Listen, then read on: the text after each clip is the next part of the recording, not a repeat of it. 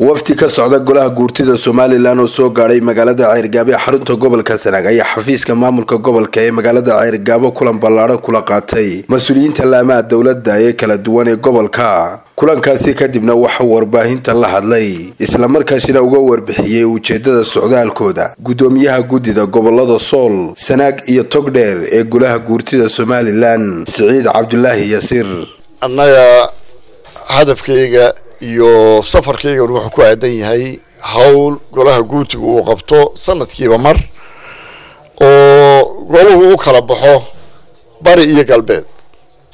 Si uu xoogaa lagu noqdo xaaladda nololeed nabadgelyo dhaqaale dhinac walba.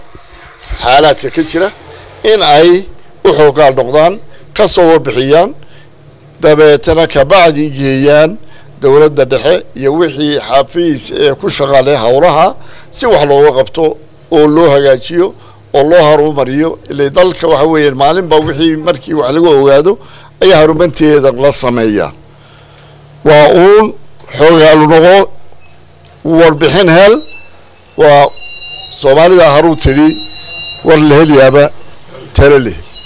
Warkii baanu raadinaynaa taladuna insha allahu tacaala way iman doonta sidoo kalena guddoomiyaha guddidaasi waxa uu ka warbixiyey wixii ay ka wada hadleen mas'uuliyiintii ay ku kulmeen halkaasi. Warbixin bay samaynayaan.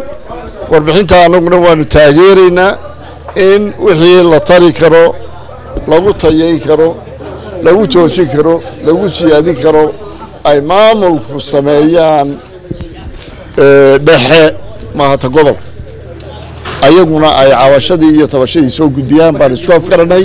Si wanaagsanna way u dhigeen si wanaagsanna waxbay u sheegteen. Annaguna waa taageeraynaa insha allahu tacaala. Gebagabadiina waxaa halkaasi ka hadlay barisaab ku-xigeenka gobolka sanaaga. Ismaaciil cabdi xasan oo dhankiisa faahfaahin ka bixiyey baahiyaha ka jira gobolka sanaaga. Guurtida noo timi dee gobolka noogu timi waanu soo dhaweynay.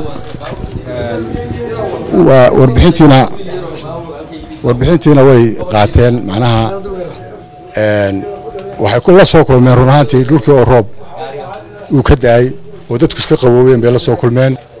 Wasaaradaha oo aan halka ku shirinay isduwayaashu waa run oo waxbaa ka jira inaanay qaarna dee xafiis lahayn qaarna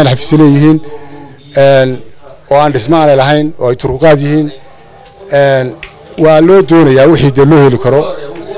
Sanadba qaar baa dhismaayey oo soo kordhaayey kuwa kalena insha allah waxaan ku rajo weynaa inay helaan meelihii xafiisyada ay ku shaqayn lahaayeen. Cabdiraxmaan axmed ilsar star t v ceyrgaabo